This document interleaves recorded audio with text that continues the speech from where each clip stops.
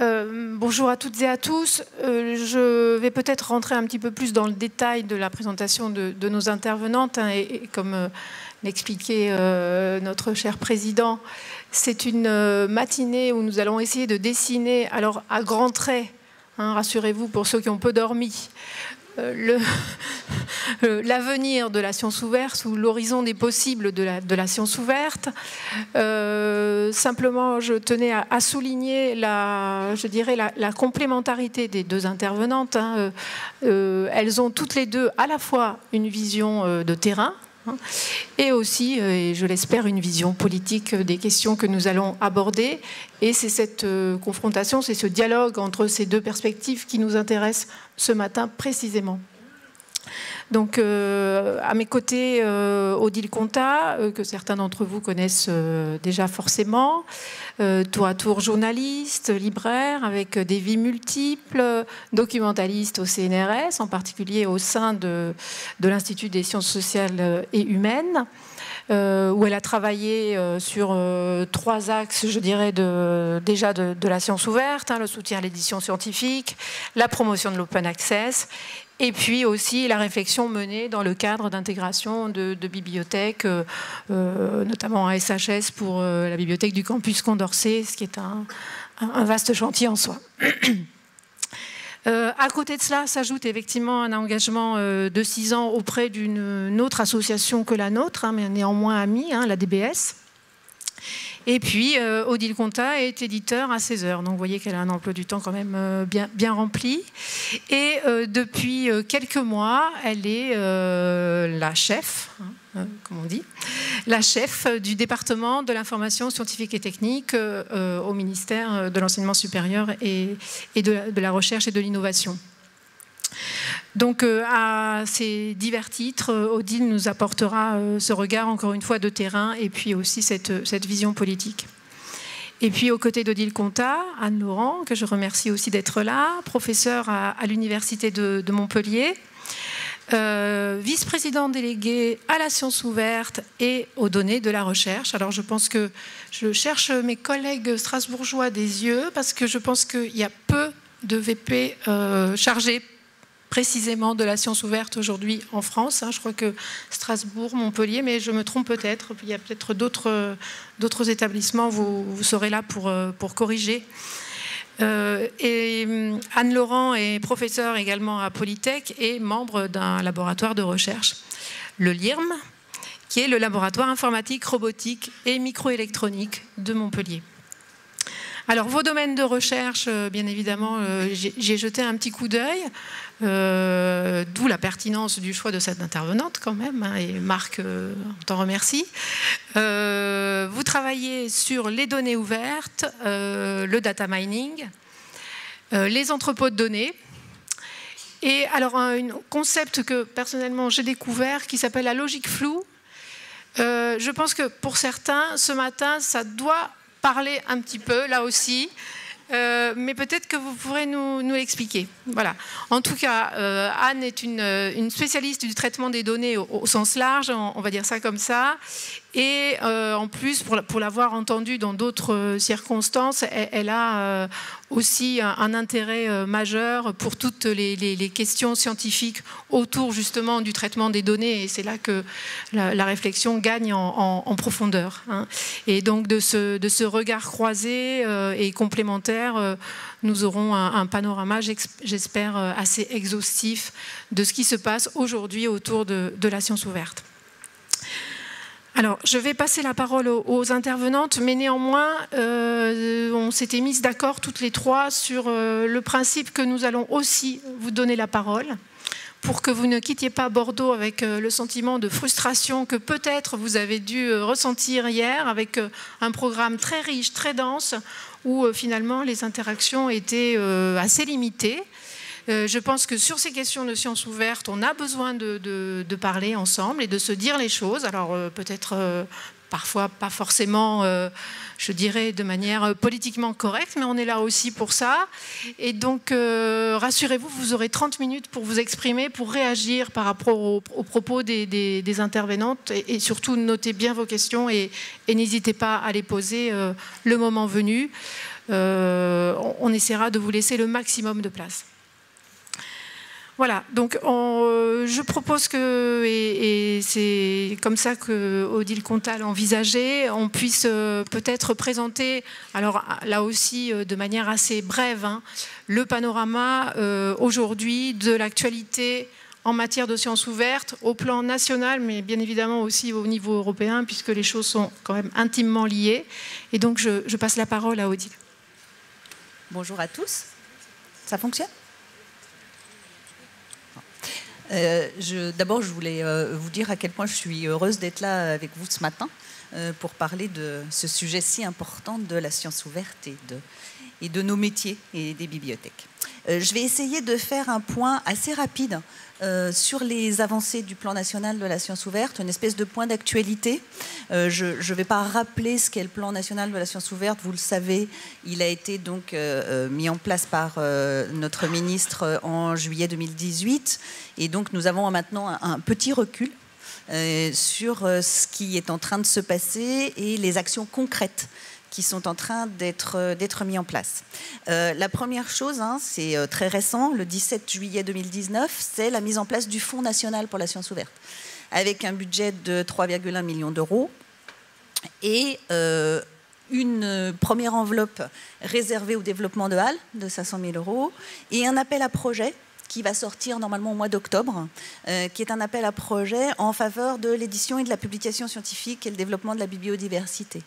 Euh, cet appel, a, il, aura un budget de 2,5 millions d'euros. Euh, il sera aussi prolongé sur trois ans. C'est-à-dire qu'on a l'assurance aujourd'hui euh, que nous aurons euh, cela pour trois années. C'est quand même déjà assez intéressant d'avoir une, euh, petite profondeur. Et donc, ça servira en partie à soutenir des projets internationaux, notamment par l'intermédiaire de SCOS. je vous ai mis le développement parce qu'on m'a dit qu'il ne fallait pas trop jargonner, alors je vais essayer de ne pas trop jargonner, hein, qui est une coalition internationale pour le développement durable des services scientifiques ouverts, qui soutient notamment le DOAJ, Hein, le, répertoire des revues en accès ouvert. Et puis, donc, euh, cet appel à projet, il servira aussi à, euh, nous l'espérons, soutenir des projets, des infrastructures de recherche qui sont inscrites à la feuille de route, mais d'autres aussi, plateformes numériques, privées ou publiques. Hein, c'est-à-dire que c'est un appel à projet ouvert à tous à partir du moment où il rentre dans les critères qui ont été établis pour cet appel dans le cadre de la science ouverte. Donc je voulais le redire, et il sera spécialement autour d'initiatives pour euh, la biodiversité, des initiatives éditoriales, etc. Euh, il y a un, point qui vous intéresse tous, puisque vous êtes déjà tous impliqués dans le développement de l'archive ouverte nationale HAL. Il y a un vrai euh, engagement euh, ambitieux autour de HAL aujourd'hui, avec, je vous l'ai dit, un budget venant directement du Fonds national de la science ouverte, plus un budget qui vient du CNRS, qui fait que du coup, le budget général de HAL va doubler pour passer la barre des 2 millions d'euros. Mais avec tout ce qu'on va leur demander, il va falloir faire ça. et donc un projet ambitieux autour d'une évolution qui soit, euh, qui soit là pour répondre aux enjeux de l'enseignement supérieur et de la recherche. Donc ça, c'est euh, important aussi. Euh, il y a autre chose aussi qui a été prévu dans le plan national, qui est le baromètre français de la science ouverte, qui va sortir tout bientôt, là. il va y avoir un site web et euh, je vous donne euh, euh, les derniers résultats qui ont été mis en place. la proportion des publications qui sont déjà en accès ouvert. Donc, c'est des chiffres qui sont à partir de données de 2017, hein. données qui sont fabriquées autour de HAL et de Unpaywall, si vous connaissez un peu cet outil. Et donc, le chiffre qui tombe, c'est 41% de la production scientifique est aujourd'hui en accès ouvert ou dans des revues publiées euh, directement en accès ouvert, quel que soit leur modèle économique, ou dans des archives. Et ça, c'est très différencié, par contre, discipline par discipline. Euh, donc c'est intéressant d'avoir euh, ça, et c'est normal. Hein, les, les, les comportements ne sont pas les mêmes, les, les, cultures scientifiques ne sont pas les mêmes, et on reconnaît assez facilement que les mathématiciens, et notamment les mathématiciens, sont beaucoup plus en archives ouvertes, hein, mais c'est archive, et c'est voilà, c'est des choses qui existent depuis très longtemps. Et puis, puis d'autres disciplines comme la biologie, etc., sont plus dans des revues euh, en accès ouvert. Donc on, on voit les différenciations, ce qui vient des éditeurs, ce qui vient des archives ouvertes. Et donc c'est euh, voilà, c'est un baromètre intéressant qui va nous permettre de suivre euh, eh ben, ce vers quoi nous voulons aller, c'est-à-dire un 100%. à quelle échéance, ça on peut en discuter, mais en tout cas c'est le but du jeu. Euh, autre chose dont vous avez forcément entendu parler, qui est là du coup plus sur les données, c'est l'appel flash de l'ANR, hein, euh, qui a été donc euh, mis en place 2,3 millions d'euros pour en fait demander à la communauté scientifique où ils en étaient dans la gestion de leurs données. Et du coup, c'est assez intéressant parce que ça permet d'avoir un effet d'impulsion sur un certain nombre de projets sur les données, mais aussi nous d'avoir une vision de ce qui se passe dans les différentes disciplines autour des données. Et donc c'est un appel qui a eu beaucoup de succès. Euh, il y a 25 projets euh, qui sont soutenus aujourd'hui. J'en ai euh, mis quelques-uns ici. vraiment, c'est extrêmement diversifié autour des données. Il y a à la fois des archéologues, des gens qui travaillent autour de Gopher, un outil bibliographique de citation ouverte, enfin bon, vraiment de l'open data. Il y, a, vraiment énormément de projets et je pense que le suivi de ces projets va nous apporter aussi beaucoup sur la vision que, que nous avons de euh, que fait la communauté scientifique avec ces données aujourd'hui. Donc euh, voilà, c'est un, un, point important que l'ANR soit très impliquée euh, à ce, à ce niveau-là. Et puis j'ai mis quelques actualités en vrac avec une dépêche de l'AEF très récente qui, voilà, qui parle à la fois de une chose qui est importante qui a été faite au niveau du comité pour la science ouverte, le COSO. J'essaye de... Hein, Maintenant, il a un petit nom, mais c'est quand même le Comité pour la science ouverte, qui est en fait euh, une, traduction euh, en français de, euh, de, recommandations pour la gestion de données. Ça, c'est important aussi hein, d'avoir des ressources communes et de pouvoir les partager. un travail qu'a fait le CIRAD autour de comment mettre en place une politique dans un établissement pour la gestion de données qui donne des exemples et qui est du coup très vivant et c'est aussi très intéressant. Et puis euh, l'INIST qui fait un tour de France avec Copidor, qui est un outil euh, très important de sensibilisation euh, autour de la gestion des données. Donc voilà, c'est trois, actions, trois façons de faire avancer la science ouverte, de sensibiliser et d'avancer ensemble sur ce chemin que je trouvais représentatif des avancées d'aujourd'hui. Et puis, euh, et puis pour agrandir un peu le champ, des soutiens aussi euh, qui n'étaient peut-être pas évidents au départ, mais le Comité pour la science ouverte euh, va donner un soutien important à Software Heritage, qui est donc une archive ouverte dont la mission est de collecter les codes sources des logiciels. Donc l'ouverture, elle n'est pas seulement sur les publications, pas seulement sur les données, mais aussi sur d'autres objets. J'espère qu'on aura l'occasion d'en reparler. Et puis un, soutien important aussi et une, vision importante au niveau européen et international. La troisième, le troisième axe du plan national de la science ouverte, c'est le développement durable autour de l'Europe et de l'international. C'est un point très important. On ne, fait pas la science ouverte euh, qu'au niveau national, c'est impossible. On est forcément au niveau européen et international. Et donc j'ai mis deux soutiens importants, SCOS dont je vous ai déjà parlé, et puis euh, RDA, Research Data Alliance, qui est un endroit très important où les communautés se parlent sur la gestion de la recherche, sur les bonnes pratiques, sur euh, comment on fait, comment on avance euh, ensemble euh, à ce niveau-là. Alors l'Europe, il y a énormément de choses. Hein, j'aurais pu faire cinq minutes juste là-dessus, mais peut-être redire simplement qu'en 2019, la France a, eu une, une, place importante sur la scène internationale au niveau de la science ouverte, avec à la fois alors l'Assemblée générale de Coar, en fait c'est la coalition des archives ouvertes. Je vais faire un, raccourci, mais c'est un peu ça. Une conférence pub à Marseille aussi sur l'édition scientifique numérique qui était très importante. Euh, une rencontre intéressante dans le G7, il y a un groupe sciences ouvertes. Euh, c'est quand même quelque chose d'assez intéressant de savoir ça. C'est-à-dire qu'au sein du G7, il y a un groupe sciences ouvertes qui s'est réuni à Paris au mois de juin. Donc même dans cette instance-là, on parle de sciences ouvertes. Et puis l'Assemblée générale d'Open Air qui va avoir lieu euh, très bientôt. Donc voilà, il y a énormément de coordination au niveau européen, au niveau international sur cette question-là. Euh, il y aura très bientôt à Helsinki une rencontre entre euh, les conseillers sciences ouvertes européens qui, voilà, parce qu'il y a aussi une volonté de, développer le dialogue à ce niveau-là. Il y a EOSC, qui est aussi une structure européenne très importante, qui est plus sur sur les outils et sur les plateformes, qui est un peu une méga structure, mais qui est un lieu aussi important.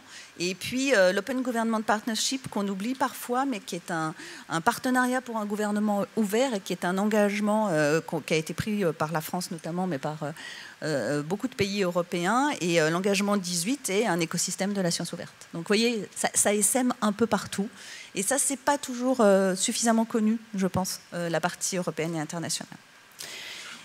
Et puis du coup, parce qu'il fallait bien en parler aussi, hein, il faut quand même parler du plan S. C'est plus, plus compliqué c'est plus compliqué, mais c'est intéressant. Euh, vous avez euh, dans le site euh, Ouvrir la science, qui est le site du Comité pour la science ouverte, qui permet de rassembler des ressources, des traductions, etc. Une traduction des dernières recommandations pour la mise en œuvre du plan S, une, traduction en français, ce qui est important hein, d'avoir ça aussi à ce niveau-là. Donc, vous savez, c'est des nouvelles recommandations, parce qu'il y a eu une première version du plan S. Puis ensuite, il y a eu énormément de retours dans tous les pays, à tous les niveaux, et en France aussi énormément des associations euh, de Liber, de, énormément, énormément de, personnes dans nos professions et au-delà qui ont réagi. Et puis donc du coup, il y a une, un deuxième, une deuxième publication qui prend en compte un certain nombre de choses pas tout à fait tout, mais qui prend en compte un certain nombre de choses. Euh, le calendrier euh, de, la mise à disposition en accès ouvert euh, sans embargo de l'ensemble des publications financées par les financeurs appartenant à la coalition S. donc la date, c'est janvier 21 pour les articles, avec plus de temps pour les ouvrages. Ce n'est pas, ça n'est pas fixé. Hein, euh, le calendrier, mais euh, il y a une prise en compte de la différenciation entre euh, l'économie des articles et des revues et l'économie des ouvrages, avec une volonté d'une diversité des modèles pour les revues et les plateformes, un soutien en infrastructure en libre accès, un point de vue, on va dire, équilibré sur les modèles hybrides, avec un soutien possible si c'est une voie transitoire vers un, un open access plus complet. Un soutien donc euh, pour les données avec euh, la reprise de la phrase euh, européenne qui est devenue un leitmotiv aussi ouvert que possible, aussi fermé que nécessaire. Un encouragement de diffusion des prépublications et de prise en compte de ces prépublications dans l'évaluation des chercheurs et de la recherche. Une signature de l'engagement DORA sur l'évaluation et puis euh, un travail aussi autour des licences nécessaires, donc avec un, petit, un petit aménagement, puisque la première version parlait uniquement de licences CC BY, et aujourd'hui il y a un petit aménagement en disant que les CC BY SA et ND pourrait exceptionnellement être mise en place si l'organisme de financement en est d'accord. Donc il y a une possibilité de discussion sur un certain nombre de choses. Donc quand même les recommandations ont fait bouger hein, les gens de la coalition S et le plan S. Donc euh, euh, ça je trouve que c'est une expérience intéressante d'avoir pu aussi euh, voilà, faire bouger ensemble les recommandations au niveau européen. voilà, je vais m'arrêter là parce que sinon ça va être trop long, et, mais ça vous donne une idée du paysage d'aujourd'hui et et de où nous en sommes.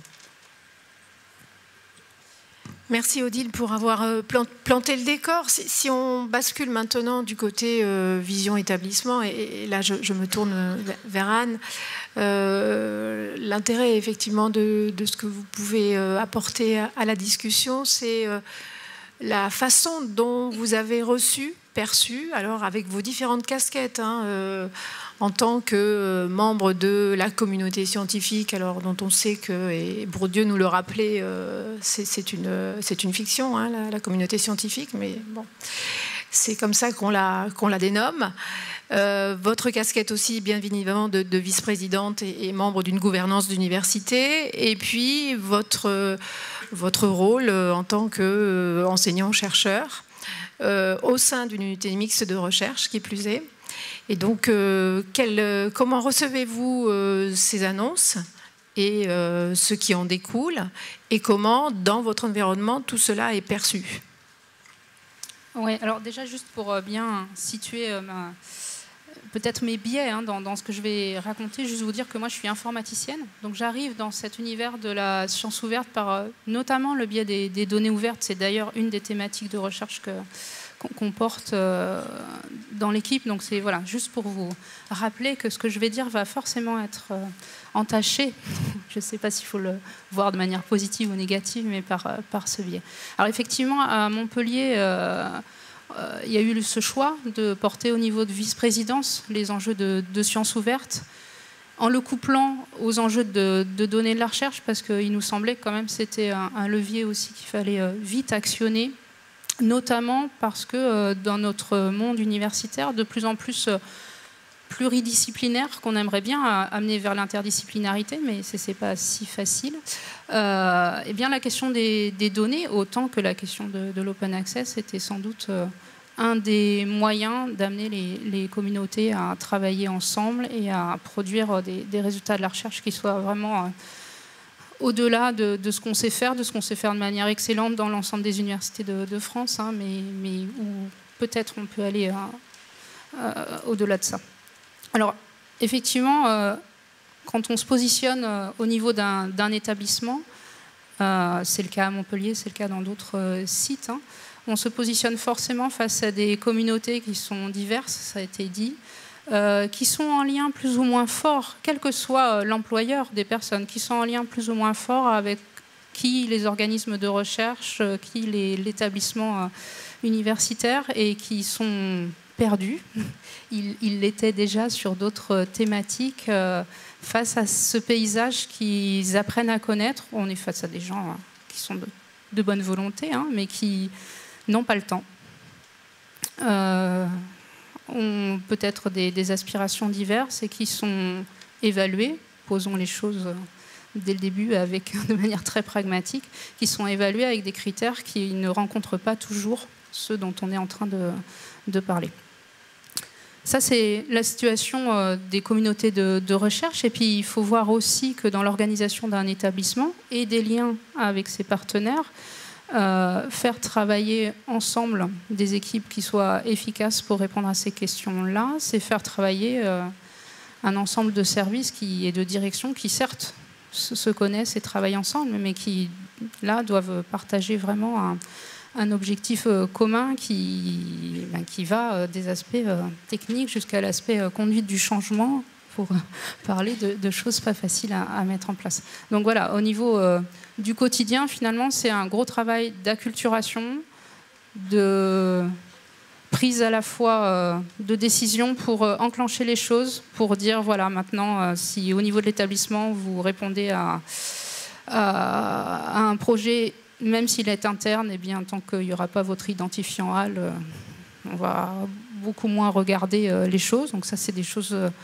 pratico-pratiques, mais dans lesquelles on essaye de s'engager dès maintenant pour à la fois laisser le temps aux communautés de s'organiser. On ne parle pas pareil à un juriste qu'à un mathématicien, ça a été dit, mais, mais aussi poser et planter le décor dès maintenant.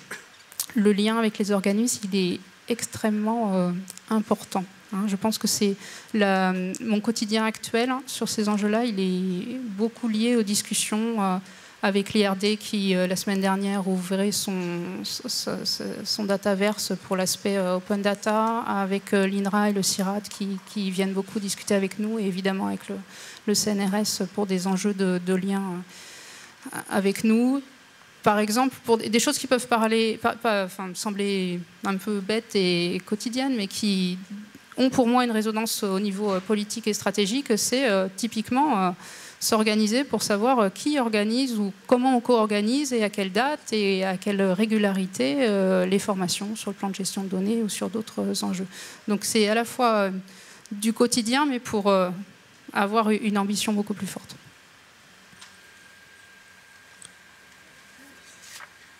Une, autre, une autre question peut-être en, réaction à, la présentation euh, rapide d'Odile, en fait.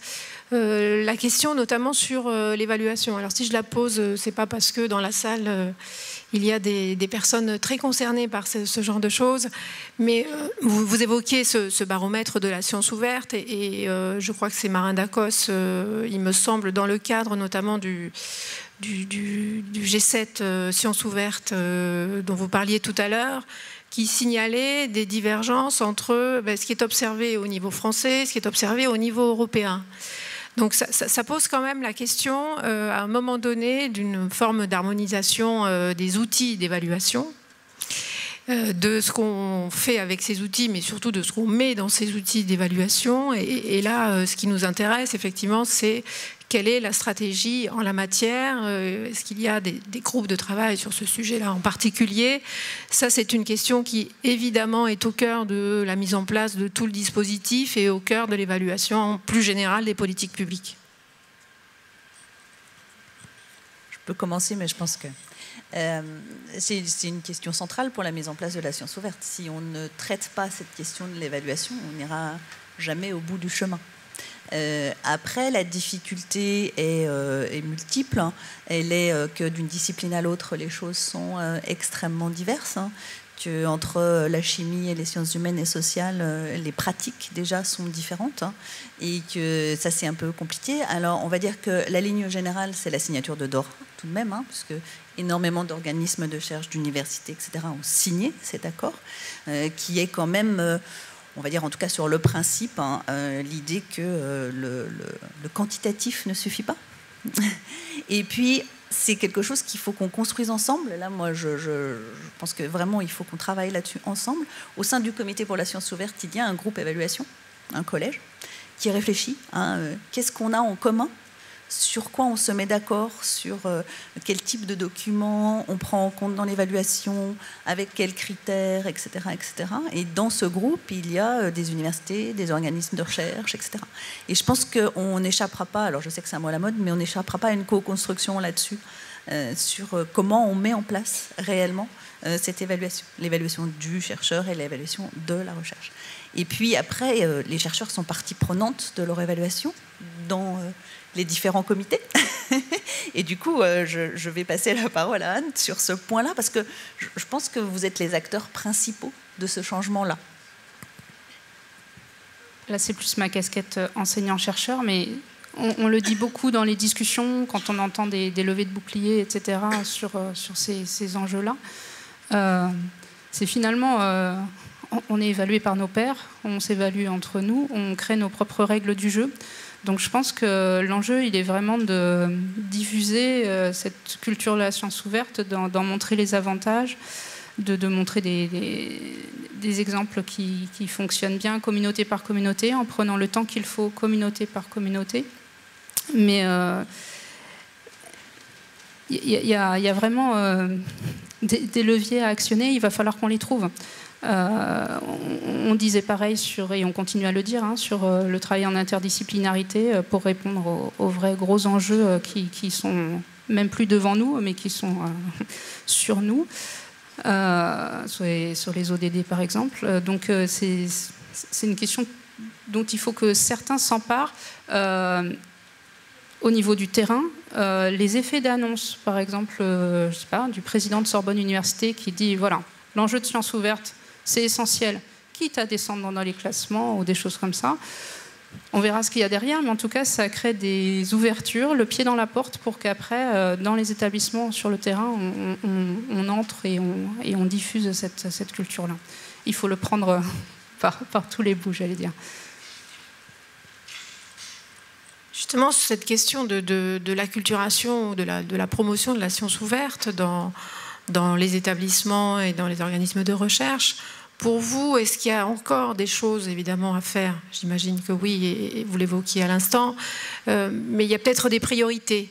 Est-ce que ces priorités-là, aujourd'hui, euh, vous pouvez euh, nous les donner à grands traits? Est-ce qu'il y a des choses qui, pour vous, et bon, je, pense en, particulier à, toute la réflexion autour de, la prochaine loi sur la programmation de, la recherche, hein, qui est quand même euh, là un levier possible d'évolution, notamment en termes euh, du processus d'évaluation des enseignants-chercheurs. Qu'est-ce que vous en attendez aujourd'hui? Oui, sur le processus d'évaluation, effectivement, des, annonces et des, critères qui soient plus fortement affirmés dans, autour de, ces questions. Sur l'aspect du quotidien du chercheur, je pense qu'il y, a des choses aussi qu'il faut que, nous, on, s'empare euh, sur le, terrain, en fonctionnant ensemble euh, entre tous les, établissements, les organismes, les universités, etc., pour qu'on s'organise parce que la, question du temps, je reviens là-dessus, hein, mais la question du temps, elle est cruciale. C'est-à-dire que même face à des communautés qui sont euh, plutôt preneuses de ces, qui comprennent les enjeux, ben, après, elles n'ont pas forcément le, temps et il faut du coup euh, leur euh, dire et redire et re-redire qu'il y a des, guichets auxquels ils, peuvent s'adresser. Donc c'est aussi à nous de, de couvrir le terrain pour leur dire ce qu'ils peuvent faire. Donc il y a toute cette organisation-là, jusqu'effectivement, en, en haut, réaffirmer ces, critères. Cette question de, l'organisation interne pour répondre aux enjeux, pour moi, elle est, elle est, vraiment cruciale. Sur les communautés moins prêtes, quand je dis il faut prendre le temps, il faut prendre le temps aussi d'aller les voir, de réaffirmer des choses. C'est vrai qu'on a l'impression de le répéter tout le temps, euh, aussi ouvert que possible, aussi fermé que nécessaire encore la, semaine, la semaine dernière, la semaine d'avant, je ne me rappelle plus, hein, j'en ai parlé sur l'ouverture des, le, portail d'ouverture d'Ataverse des données à, l'IRD. Dans la salle, les réactions sont parfois très vives en disant euh, Moi, je fais de la génétique humaine, je ne peux pas. Oui, on ne va pas tout de suite ouvrir des données euh, non anonymisables de, de, personnes. Euh, et puis, il y a cette question dont on n'a pas encore parlé hein, mais c'est on va ouvrir nos données et tout de suite, euh, les géants euh, qu'on peut citer, hein, les GAFAM, BATX, vont s'en emparer et puis, euh, faire des choses. Donc il y, a toujours sur le terrain cette rencontre avec ces, retours-là qu'on a. Peut-être juste dire, oui, il faut encore faire beaucoup, beaucoup de sensibilisation, beaucoup d'informations, beaucoup de formation sur la science ouverte, parce que c'est un sujet complexe euh, et qui demande du temps. il faut continuer. Moi, j'ai l'impression que ça fait dix ans que je fais ça, mais c'est pas grave. Je pense qu'il faut continuer. Et je pense que euh, dans la salle, vous le faites aussi, et, il faut continuer, même si on a l'impression qu'on l'a déjà fait beaucoup. Euh, après, je dirais que l'important, il y a deux choses qui me paraissent très importantes. Le plan national pour la science ouverte, l'idée c'était qu'il y ait une déclinaison à l'intérieur des établissements, et je pense que c'est très important que les universités, les organismes, etc., fassent, s'approprient la science ouverte et, définissent leurs priorités, leur façon de s'organiser et le disent, fassent des chartes, des, feuilles de route, peu importe la forme que ça peut prendre. Euh, ça, commence dans beaucoup d'endroits. Hein, au CNRS, c'est en train d'être fait, mais, dans d'autres universités aussi. Et c'est important que ça soit fait, que ça soit dit officiellement comme une politique.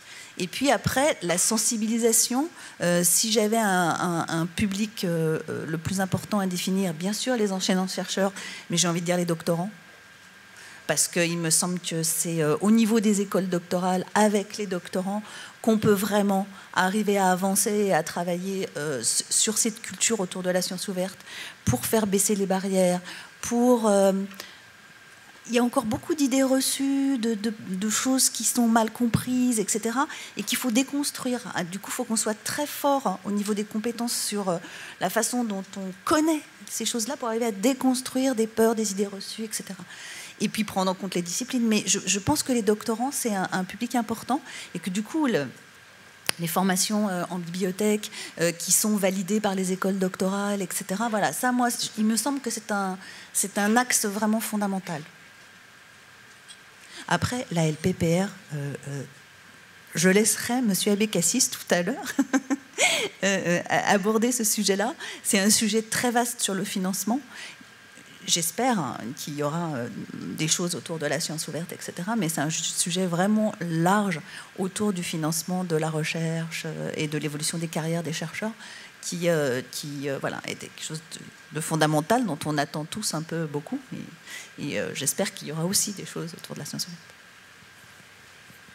Juste ajouter que se donner des, dates pour... Euh, montrer l'horizon et l'ambition qu'on a et après le décliner au quotidien. Voilà, mais ces dates qu'on a comme une ambition et un, phare qu'on essaye d'atteindre, elles sont, elles sont importantes parce que sinon, on sait comment ça se passe. Hein, la déclinaison et l'opérationnalisation ne va pas forcément se faire aussi vite que, possible. Donc à la fois, il faut du temps, mais il faut quand même poser des jalons clairement identifiés et, tenus, voire enfin, tenus plus ou moins, parce qu'il faut tenir compte de, ce qui se passe et du, possible, mais c'est important pour, euh, nous après, en local, pour dire bah, de toute façon, on y va. Il y a cette date butoir. Vous évoquiez le, niveau national et notamment en termes de financement, mais il y a aussi des, programmes européens. Je pense au, programme euh, Horizon Europe, hein, qui prend la suite de, Horizon 2020 et, qui va couvrir la période 2021-2027.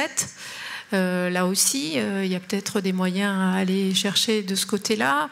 Est-ce qu'il y a d'ores et déjà une stratégie en la matière? Est-ce qu'il y a quelque chose qui peut être utile? Et, je n'en doute pas, je dirais, à la à l'aspect euh, développement, euh, stratégie globale au niveau des établissements, des opérateurs euh, publics de la recherche en France par rapport aux, moyens qui sont nécessaires pour le déploiement véritablement d'une offre globale. Juste une réponse qui n'est pas au centre peut-être de ce que vous, vous évoquez, mais que sur ces enjeux-là, je ne l'ai pas encore dit, mais euh, on fait comme si c'était facile. On fait comme si euh, les techniques étaient là, les technologies étaient là, et puis il suffit de s'organiser, il suffit de le vouloir, et il suffit de convaincre, et on y arrive. Euh, en fait, c'est pas si simple, comme dans tous ces enjeux-là. Il y a des questions de qui sont pas seulement des questions de conduite du changement, qui sont des questions de construire les outils qui répondent aux besoins, peut-être même de construire les usages et de les envisager. Et je pense qu'une partie de la réponse, en tout cas, nous, à, Montpellier, qu'on essaye de porter, c'est d'allier vraiment l'opérationnalisation, une vision, des choses qu'on pense pouvoir et devoir faire, mais aussi euh, un enjeu de recherche presque et de construction de, d'outils et même de science autour de, ces questions-là. Alors là, c'est pour ça que j'avais commencé par, vous dire ça. Hein. C'est mon biais de, sujet de recherche. Mais euh, à la fois, je pense qu'il y a beaucoup de choses qu'on peut faire. C'est les enjeux euh, du TDM, c'est les enjeux de l'intelligence artificielle à l'intérieur de ça. Je ne voudrais pas non plus qu'il y ait des fausses promesses et que voilà, on fasse les promesses avant de mener les projets. Donc euh, il y a des jolis projets à faire, il faut poser nos ambitions, mais ne disons pas avant d'avoir atteint ces ambitions que, tout est possible. Donc sur ces, réponses-là, je pense que la, France, à la fois parce qu'il euh, y a des forces et on veut se positionner là-dessus, sur ces enjeux d'intelligence artificielle couplés à, la science ouverte, il y, a, des réponses à faire qui vraiment euh, font, couvrent tout le périmètre d'avancer sur ce qu'on peut et, veut et sait faire et puis euh, le faire. C'est pas facile la question du financement, jamais facile. Euh, j'aurais forcément une réponse un peu partielle. Euh, il y a en partie celle que j'ai présentée en introduction de la table ronde sur le Fonds national de la science ouverte. Il y a le travail très important que font les opérateurs aujourd'hui, et donc ils s'emparent aussi des questions de la science ouverte. Il y a les infrastructures de recherche, euh, et elles sont quand même nombreuses euh, en France autour de la science ouverte qui sont importantes. Il y a les financements européens. Et, euh, financer des infras au niveau européen, comme le fait SCOS, et que nous participions à ça, c'est-à-dire qu'on aide des infrastructures européennes, mais qui nous servent à nous aussi, hein. c'est-à-dire que le DOAJ, il sert à tout le monde.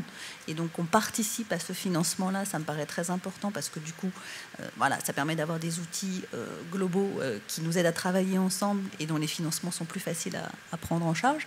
voilà, il y, a une, palette de choses à voir et, du travail ensemble le, plus possible et beaucoup de travail à faire encore, à développer. Sur, sur les entrepôts de données, il, y a, encore énormément, énormément de choses où on n'a pas tous les outils en main et en effet, il faudra les développer et il faudra euh, euh, qu'on trouve des moyens aussi pour faire cela. on en vient peut-être aux conséquences euh, pour les établissements, hein, euh, quels qu'ils soient, et par rapport à ces évolutions. les enjeux, on le voit bien, sont, divers et, sont assez énormes. Euh, il y a des enjeux qu'on a déjà évoqués, hein, la question de, l'interdisciplinarité notamment. Il y en a un qui peut-être nous, nous tient plus particulièrement à cœur, c'est euh, le croisement, je dirais, des compétences, ou, en tout cas euh, l'idée de, faire en sorte qu'on puisse être mobilisé avec des expertises diverses sur ce terrain de la science ouverte. Euh, pour ce qui est de, l'Université de Montpellier, mais au-delà, peut-être, euh, Anne-Laurent, euh, votre point de vue? Je pense que vous êtes tous au cœur de la, question. après, c'est mon point de vue et c'est peut-être mon quotidien parce qu'avec Sandrine, on travaille comme ça. Quand je pense sciences ouvertes, je pense, je pense service commun de la documentation parce que pour moi, c'est la porte d'entrée. Et après, on s'organise autour de, de ça. C'est à la fois mon biais sur euh, le quotidien sans doute à l'Université de Montpellier, mais c'est aussi euh, euh, le biais que j'ai parce que je pense beaucoup l'informatique en lien avec les sciences humaines et, que la, question de comment est-ce qu'on peut reproduire ce qu'on sait faire pour avoir des choses dans la mémoire, savoir ce qu'on garde, ce qu'on conserve, la question des archives, qui, qui, pas l'informaticien ou ou l'AVP qui, saura ce qu'il faut archiver. On va forcément se tourner vers les experts. Euh, donc il, faut vraiment qu'on se structure. Pour moi, c'est à la fois une des difficultés. Travailler en mode projet, c'est pas forcément euh, là où on excelle dans les établissements universitaires. C'est pas facile, il faut le, faut le reconnaître. Hein.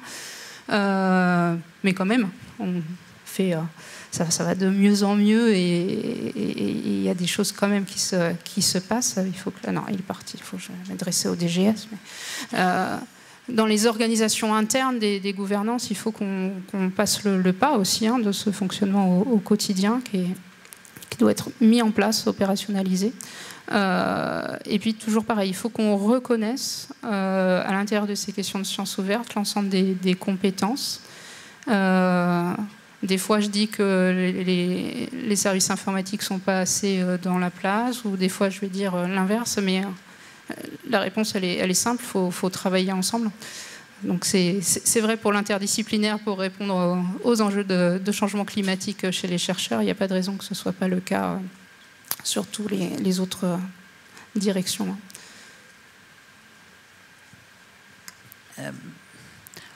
on, a une chance extraordinaire dans nos métiers c'est qu'avec la science ouverte, on, revient au cœur. Enfin, moi, c'est la sensation que j'ai. C'est la sensation que j'ai eue quand je suis arrivée au CNRS, au Centre d'économie de la Sorbonne, euh, où mon premier poste, en fait, c'était autour de, euh, euh, de la mise en place de halles au sein du labo. C'était en 2005, la préhistoire. Et, et, et tout d'un coup, de travailler sur les publications avec les chercheurs, sur la visibilité de leurs publications, sur leur diffusion. Et ben, d'abord, ça m'a permis de les rencontrer, et puis après, j'étais au conseil de labo. Et, puis après, j'ai travaillé avec eux. Euh, et, ça m'a remis au cœur du laboratoire, alors que la bibliothèque de recherche dans laquelle je travaillais, elle ne l'était pas forcément. Elle était au rez-de-chaussée et tout le monde était dans les étages. Il passait de temps en temps, mais c'était un peu dur. Et, euh, et ce sujet-là, il nous a remis au centre. Et moi, c'est ça que j'ai envie de vous dire. C'est-à-dire qu'on a cette chance extraordinaire d'être remis, d'être repositionné au centre, de, pouvoir dans, tous les établissements, quels qu'ils soient, défendre cette politique, sensibiliser les présidents, etc., euh, les chercheurs qu'on croise, et retrouver le chemin des laboratoires, des projets, euh, parce que les questions qui sont posées, eh ben, on, a en partie les réponses, parce que euh, on peut reparler des compétences après, mais on a les compétences, c'est nos métiers, en fait. Ils sont là, nos métiers. C'est juste les objets qui ont changé, mais ils sont là quand même. Et, du coup, moi, je voilà, j'ai envie de porter ça. Alors peut-être un peu naïvement, mais euh, tant pis. je, me laisse ce, choix-là encore. Je trouve que c'est une très belle occasion. Voilà. Et, euh, j'ai envie qu'on en profite. Euh, voilà, pour être au centre de tout ça, d'un mouvement. On sent bien qu'on est une, à, un moment charnière hein, où on est en train de basculer. les idéaux de la science ouverte, ils sont passés maintenant, en gros. On est d'accord sur les valeurs. Mais la mise en œuvre, on a un sacré travail devant nous. Et, ce travail-là, c'est vraiment très important. Qu'on le fasse sur les publications, les archives ouvertes, l'édition scientifique, les données. Alors, on a déjà commencé sur certains sujets, on a même bien avancé sur certains sujets. Les données, il y a encore, il y a encore du boulot. Mais voilà, on, est dans ce positionnement-là qui est vraiment une chance d'un écosystème où on reprend notre place. et puis, d'un travail tous ensemble avec des structures nationales qui sont quand même aidantes parce que le comité pour la science ouverte, ça permet à tout le monde de discuter. C'est intéressant de, travailler avec les organismes, de travailler avec les universités, d'être tous ensemble là et d'essayer de construire euh, ensemble les choses et, les structures et les critères, et, euh, etc. Et puis avec les opérateurs et puis avec les informaticiens, parce qu'on n'a pas toutes les compétences, on les aura jamais. Et, c'est important d'aller retravailler avec les autres métiers et de refaire du lien. Et, du coup, moi, je pense que c'est dans une association comme la DBU, du coup, on est au cœur de ça, de retravailler sur le lien entre tous les acteurs et tous les opérateurs autour de ça. Il y a peut-être un aspect de, la science ouverte qu'on a peu abordé euh, jusqu'ici, hein, et qui est un versant souvent qu'on oublie un petit peu est focalisé sur euh, la production, la diffusion euh, scientifique, mais, pas forcément sur la communication scientifique. Je pense que dans la salle, on est sensible à, ce sujet-là en particulier. Euh, de ce point de vue-là, pour vous, évidemment, ça doit être une priorité avec les enjeux en lien avec le développement durable et, toute la problématique autour justement de, de cette science citoyenne qu'on appelle quand même tous de nos voeux. Euh, là aussi, l'implication des, à la fois des, gouvernances, d'établissements, de l'ensemble des opérateurs de la recherche euh, à votre avis, est-ce qu'elle est à la hauteur de l'enjeu ou est-ce qu'il y a encore euh, évidemment beaucoup à faire? J'ai presque la réponse en posant la question, mais je vous la pose quand même. C'est une vaste question et effectivement, oui, j'ai peur de, vous paraphraser euh, seulement, mais alors. À Montpellier, on a aussi fait le choix de, porter au niveau vice-président ces enjeux de, culture scientifique et de diffusion la, la culture scientifique, donc ça, nous tient à cœur, même si on l'évoquait tout à l'heure, il y a aussi euh, à Montpellier euh, une MSH qui, s'occupe euh, via une boutique des sciences qu'elle est en train d'essayer de, construire. Voilà ce lien-là. On parlait tout à l'heure des, doctorants. Moi, je pense. Alors après, moi, des actions sur comment fonctionne l'informatique, je les commence à l'école primaire. Hein. donc, il faudrait, faut, prendre avec des pincettes ce que je vais vous, dire. Mais je pense vraiment que donner à voir ce que c'est que la science, euh, comment elle se fait euh, et à quoi elle peut servir. Peut-être pas tout de suite, peut-être dans 5 ans, peut-être dans 100 ans. Euh, à tous, c'est un vrai enjeu pour que voilà, ça, diffuse, qu'on produise des, citoyens qui, savent à la fois que ben, les, établissements sont là pour eux, que c'est pas juste quelque chose posés quelque part, que de temps en temps ils sont allés euh, visiter ou dont ils ont vu euh, ou lu des choses à travers les, journaux. Mais voilà, donc je pense que cette euh, culture, elle doit non seulement diffuser chez les doctorants, mais de manière plus générale, c'est toujours la question du lien, hein, la question enseignement, recherche, bibliothèque, etc. Bah, chez, l'étudiant, de manière générale, je pense qu'il y, a des choses qu'on peut, faire.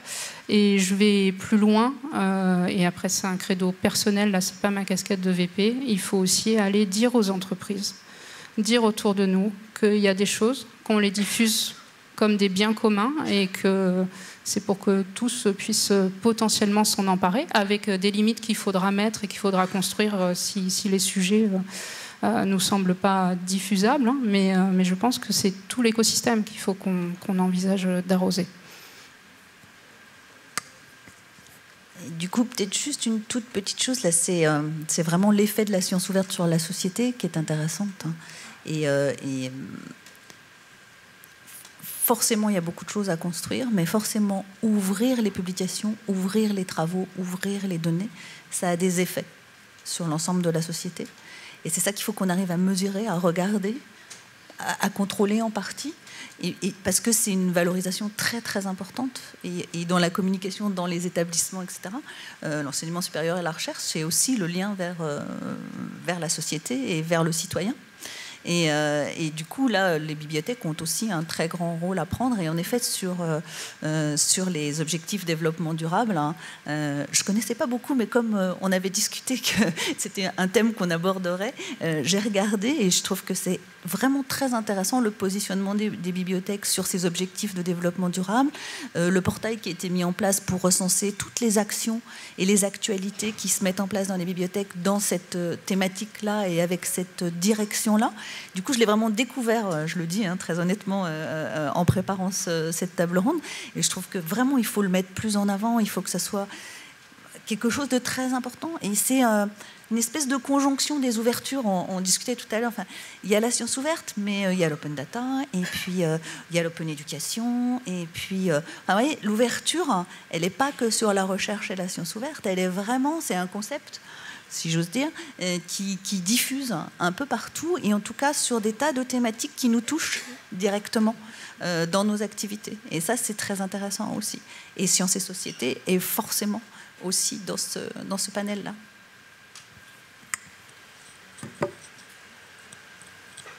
Alors non pas pour euh, conclure votre dialogue, hein, mais simplement peut-être pour euh, essayer de faire réfléchir la salle aux prochaines questions qui vont être posées.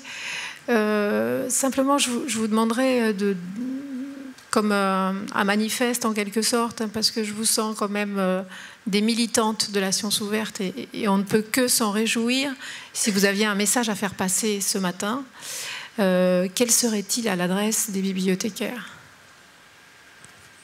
Moi, enfin, assez simple. Hein. Emparez-vous de cet enjeu-là, et en particulier, emparez-vous de la, question euh, des données et de tout ce qui peut euh, découler aussi sur les autres axes. C'est-à-dire, voilà, je, pense que pour la plupart d'entre vous, c'est déjà fait, mais ne vous arrêtez pas à l'open access. Je pense que tout ce qui a été construit, tout ce qui existe, il faut évidemment le, continuer, l'amplifier, etc. Mais la question des données, c'est aussi effectivement parce que, alors je viens de là et je pense que c'est central, encore une fois, pour, euh, construire euh, le, et pour répondre aux ambitions euh, sociétales de manière générale. Ça, ça paraît un petit peu pompeux, mais vraiment j'y crois. Alors ça, c'est ma tendance interdisciplinaire et, donnée au, cœur de, choses qu'on peut faire.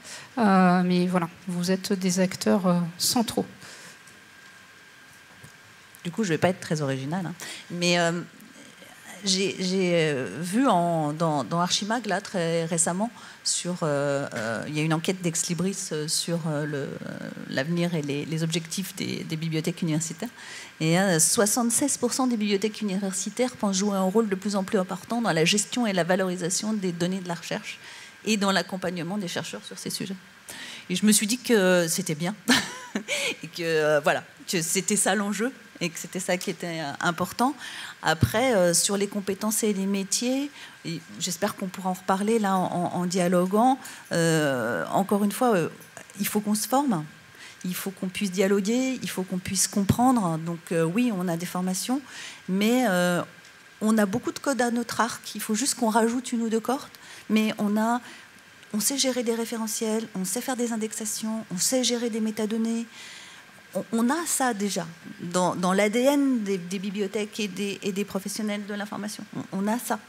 Et, il suffit juste de l'appliquer à des nouveaux objets. avant, c'était des articles, etc. Maintenant, c'est des jeux de données, des corpus, de l'IA, on a vu hier. Euh, et, pouvoir dialoguer. On ne va pas devenir informaticien. Ça ne sert à rien. Hein. D'abord, il y a des très bons informaticiens. et, et ce n'est pas notre rôle. Mais, euh, qu'on prenne nos, compétences et qu'on sache les amener euh, comme une part avec d'autres et euh, qu'on fasse des équipes un peu, voilà, des équipes pluridisciplinaires pour faire avancer les choses à ce niveau-là. Et le plus possible avec les chercheurs, parce que sur les données, on ne peut rien faire sans eux. Donc voilà, c'est ça que je dirais. Merci à toutes les deux. Donc vous l'avez compris, le, jeu des questions-réponses est ouverte.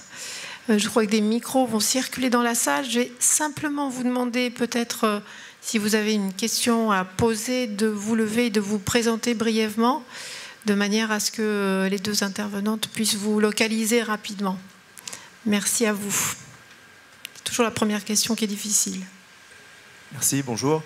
Euh, Théodore Hervieux, je suis journaliste pour Newstank. Euh, je voulais savoir sur tous ces enjeux-là, est-ce que le bon niveau de responsabilisation, c'est pas le directeur de labo? Et euh, je voulais vous faire réagir à, la position de l'AMU qui est de donner une dotation quasiment, je crois, de 25% supplémentaire pour, pour bien déposer dans HAL, etc. Est-ce que c'est le bon niveau, sachant que les présidents de section, CNU, c'est peut-être un peu plus compliqué, enfin de certaines sections, c'est un peu plus compliqué à, à aborder? Donner mon, point de vue. Ce qui est sûr, c'est que quand on veut toucher le, chercheur, il euh, ben, faut le prendre en sandwich. C'est-à-dire qu'il faut à la fois euh, lui montrer, lui démontrer à quel point ça peut euh, être intéressant, voire important pour lui et, pour sa recherche, parce qu'on n'a pas beaucoup dit, mais s'emparer des questions de sciences ouvertes, c'est certes faire le, le, bien commun, mais c'est aussi faire euh, son bien individuel. Hein. Euh, si, je dépose bien mes publications, euh, on voit bien, hein, on n'en a pas parlé, mais les services associés, c'est pour ça aussi que les concurrents de HAL sont si forts. Hein. On reçoit des petits mails de ResearchGate qui nous flattent un peu l'ego chaque matin, à chaque fois qu'on a été cité, qui nous aident à faire ci, à faire ça. Bon, HAL a aussi sa, force en termes de retour dans la préparation des, CV. Voilà. L'autre côté, c'est effectivement la, redescente ou la, la remontée. Et, c'est vrai que le chercheur il s'identifie plus dans un laboratoire, dans son unité, euh, que dans l'établissement de manière générale. Donc ça fait partie d'une chaîne en fait. Mais après, il faudrait aussi parler de la déclinaison à l'intérieur de l'unité, vers les équipes. Voilà.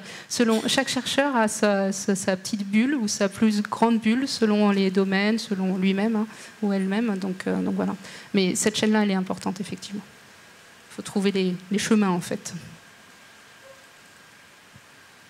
Euh, et, le, laboratoire, c'est un lieu très important pour parler, pour parler aux chercheurs.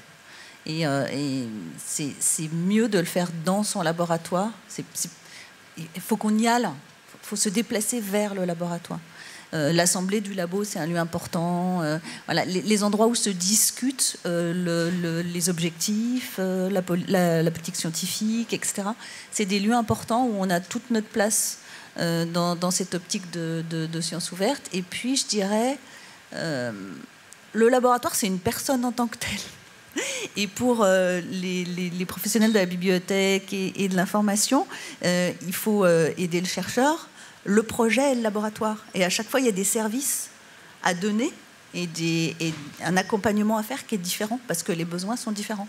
Il y a des besoins individuels et des besoins collectifs. Et du coup, le labo, il est important pour ça parce qu'il porte des projets, parce que bah, lui aussi, il est évalué, il faut qu'il fasse ses listes de publications, etc., etc. Et donc, on a un travail à faire sur l'identification du laboratoire comme un, utilisateur de nos services. Et on ne le définit pas toujours. On passe de l'individuel au projet, mais pour moi, on oublie en effet ce, cet intermédiaire-là qu'est le labo, qui est le, lieu de vie principal de la recherche. Euh, et, s'adresser au laboratoire, c'est intéressant. Et donc forcément au directeur de laboratoire, qui est le premier interlocuteur.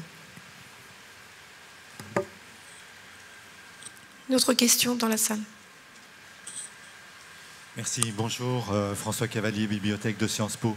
Euh, je, voudrais faire deux remarques. Euh, la première, c'est qu'il me semble quand même qu'il y a un vrai gap, un, vrai, fossé entre, d'une part, je pense, la, politique volontariste du, ministère dans, ce domaine et la manière dont est relayé le discours dans les établissements.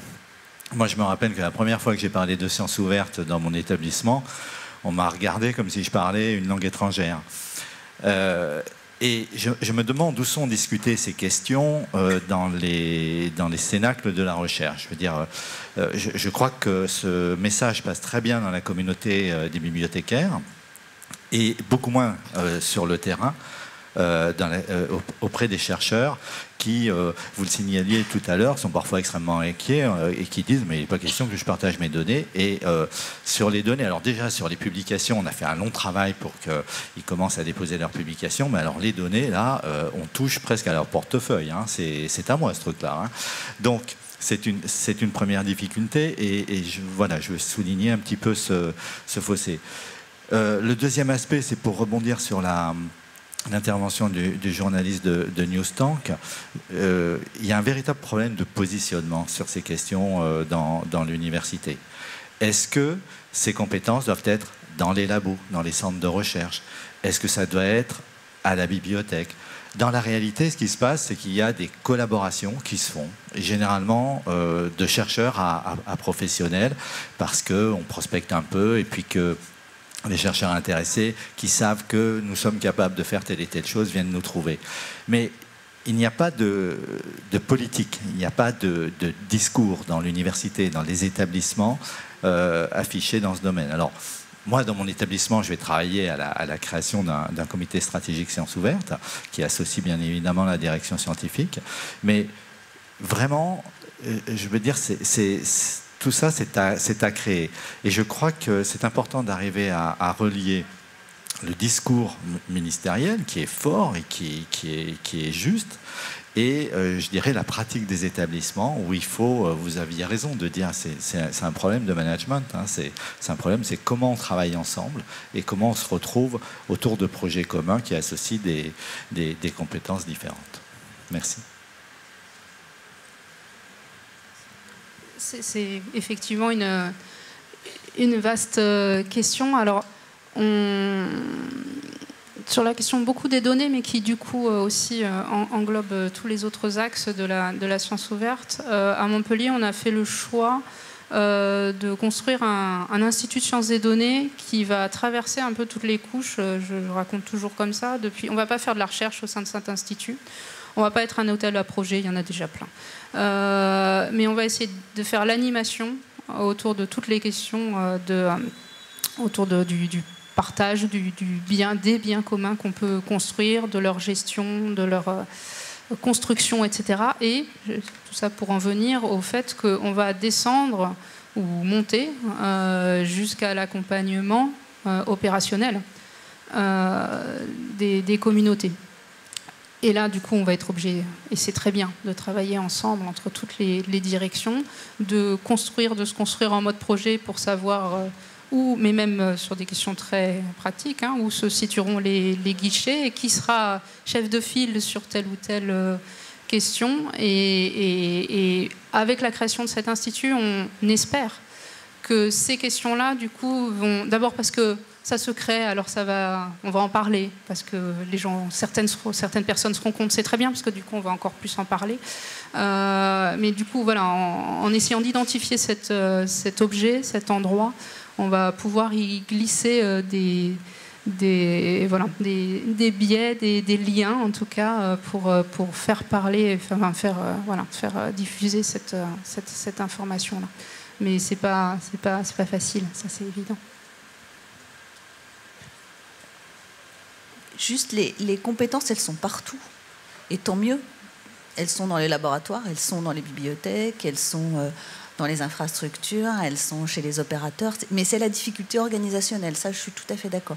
Et que du coup, dans les établissements, il faut réfléchir à comment on, met ça en musique. C'est un enjeu très fort j'entends. Alors, euh, je ne sais pas s'il y a une formule, il y en a sans doute des tas, et c'est euh, à nous, à vous de les inventer. Des équipes volantes euh, avec des tas de compétences qui vont voir les gens, des structures plus transverses qui permettent des lieux d'échange. Je n'ai pas de, de, modèle, mais je pense qu'il faut expérimenter des choses pour le travail ensemble. C'est voilà, une évidence. Hein, c'est pas pas très très nouveau, mais mais je pense que c'est comme ça qu'il faut le penser le dialogue et le travail ensemble, le, multicompétence.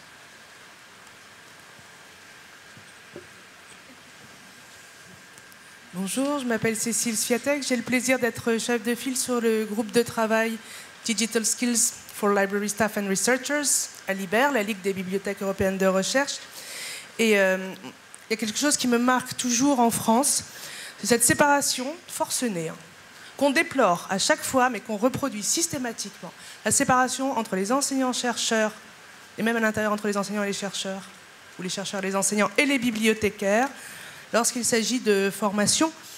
Et s'il y a une chose dont je suis convaincue personnellement, et j'espère que d'autres partagent cette idée, c'est que si on veut travailler ensemble, il faut qu'on soit formés ensemble. Parce que c'est à ce moment-là que les rencontres se font. On peut avoir toutes les scènes qu'on veut. Voilà. Avoir des échanges avec une salle. Ensuite, on va repartir chacun dans notre besace avec une idée. Que si on n'arrive pas sur place à favoriser une rencontre, forcément le projet ne va pas pouvoir suivre. Et je voulais euh, simplement souligner, peut-être que ça va vous faire réagir, euh, que j'ai regardé un petit peu par curiosité le nombre d'officers, comme on dit, hein, de représentants des projets, des programmes européens pour les formations aux compétences pour la science ouverte. Parce qu'il y en a, depuis environ 8 ans. Et les statistiques sont extrêmement faibles, c'est-à-dire que nous sommes euh, bah, à zéro, que ce soit pour euh, des programmes type Foster, Foster Plus, Fit for RRI. Et moi, je me demande pourquoi Mais c'est une, question euh, sincère. Hein pourquoi, si on n'y arrive pas, parce qu'on voit qu'on patauge un peu quand même et qu'on reproduit toujours les mêmes questions, pourquoi est-ce qu'on n'ouvre pas nos fenêtres vers ces programmes-là, simplement pour nous forcer quelque part à adopter un temps une culture un petit peu différente de la formation ou des relations institutionnelles ou nationales qu'on peut avoir entre différents métiers. Je ne dis pas qu'il faut changer de culture, ce n'est pas la question. Mais je, me demande pourquoi on ne s'empare pas de ces choses-là qui existent depuis un bon moment. Vous dites que ça, n'implique pas de changer de culture. Je pense que ça implique de changer de culture. Oui, mais ce que je veux dire, c'est qu'il ne faut, pas en détruire une pour la remplacer. C'est ça que oui, je veux dire. J'entends. Euh, ben, oui, on, je ne pense pas que notre culture, effectivement, soit celle-ci. Il faut qu'on force euh, la ligne. Alors, euh, après, allons-y. Hein. S'il y a des choses vraiment concrètes qu'on peut proposer, pourquoi pas hein. enfin, y a, Je pense qu'encore une fois, il y a au moins chez certaines personnes des, ressources importantes en volonté. C'est le principal. Et après, en, compétences, c'est pas grave, compétences, on va les, acquérir euh, pour, euh, pour euh, tenter des, choses. Hein. J'ai pas de réponse, hein. mais j'aimerais bien aussi. La, formation commune, et notamment, je pense que les données, c'est une chose où on peut se former ensemble avec les enseignants-chercheurs, parce que on a tous une, montée en compétences à avoir. Et en effet, Foster, c'est. oui, je suis d'accord. Et pourquoi on n'y va pas je, S'il y a quelqu'un qui a la réponse dans la salle, euh, avec plaisir. Je ne sais pas pourquoi on n'y va pas. Je sais pas.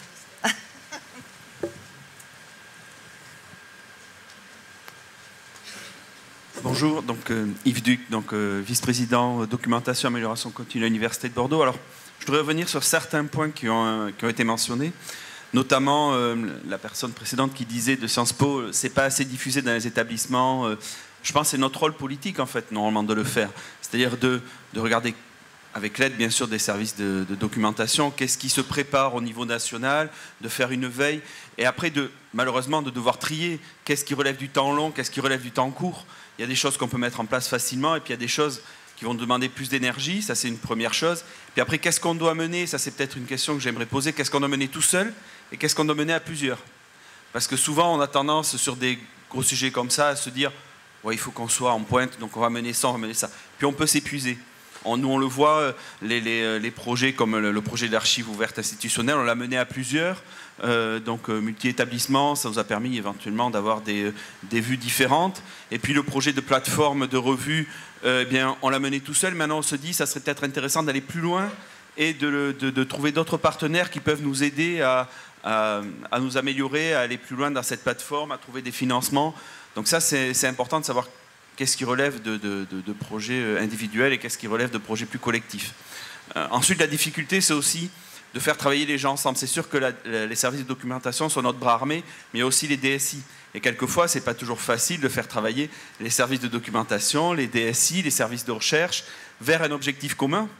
Vers un objectif commun, parce que chacun eh bien, a son actualité. Euh, on le voit chez nous, on a une réorganisation de la recherche. On a souvent, comme dans beaucoup d'universités aussi, euh, les DSI qui sont surchargés par des projets liés au numérique. Euh, et donc, en, côté documentation, on essaye de pousser des projets, puis il faut qu'on embarque tout le monde, qu'on embarque tous les services pour qu'on aille tous dans la même direction. ensuite, le bon niveau, je pense que c'est aussi le niveau du chercheur. On dit souvent, les, ça je prends ma casquette de chercheur, les chercheurs c'est un troupeau de chats. Ils vont tous dans, des directions différentes. Et, euh, il faut arriver à les canaliser Et, c'est vrai qu'on peut avoir le, système de la carotte comme à Marseille. C'est pas 25%, je pense. Euh, pour avoir discuté avec mes collègues de Marseille, je pense que c'est plus proche de 10%. Euh, c'est 20%, Mais en fait, c'est pas. Il y a différents, euh, différents axes. Mais c'est aussi arriver à faire comprendre aux chercheurs qu'à imposer un genre de mandat de dépôt, les obliger à, à, mettre donc les, les, articles dans HAL. Mais c'est vrai que la culture, après, il faut travailler la culture. La culture de la science ouverte, c'est pas quelque chose qu'on va euh, mettre en place immédiatement. Hein. C'est comme la culture du risque, c'est comme la culture de la qualité. C'est au fur et à mesure en travaillant, au fur et à mesure en montrant les bénéfices euh, de, cette thématique qu'on va arriver à persuader les gens qu'il faut y aller.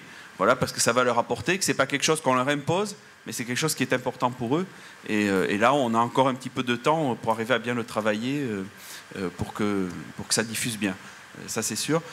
Mais enfin, moi, je suis optimiste quand même. Hein. Je suis optimiste parce qu'on euh, mène beaucoup de projets très intéressants et on va euh, ouvrir notre archive. là, je pense que les, euh, bien sûr connecté à HAL, bien évidemment. Et, mais, mais je pense que ça va aussi montrer, montrer aux enseignants, aux enseignants-chercheurs aussi ben, quel est l'intérêt d'avoir mis en place ce projet. Parce qu'au départ, on disait mais pourquoi mettre en place une archive alors qu'il y a HAL Voilà, ça va aussi leur faire comprendre ça et leur faire comprendre qu'on peut mener des choses complémentaires et, les mutualiser. Voilà, ça euh, c'est quelque chose que je voulais dire et arriver à faire travailler les services ensemble. Mais bien sûr, la montée en compétences, euh, ben, elle est difficile parce que euh, on a tous des, des, contraintes du côté des plans de gestion des emplois. Et après, quand on dit, ben voilà, on va réaffecter des, collègues vers le domaine de la science ouverte, eh bien, c'est pas toujours facile parce qu'il y a aussi des besoins dans d'autres endroits et, et donc, euh, il faut arriver à traiter le domaine de la science ouverte dans, le, paysage aussi d'autres problématiques de recherche et, euh, d'informatisation. Voilà. Mais on, y arrive quand même, et, moi je suis optimiste pour le futur là-dessus. Voilà.